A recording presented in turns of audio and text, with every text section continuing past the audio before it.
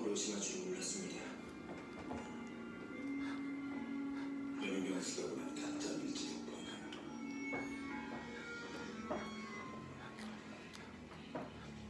오늘도 그 의심과 미움이 터졌으니 쉽게 끊는 것이 아닐 것이다.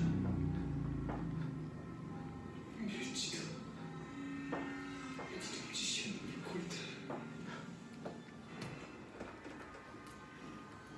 자네가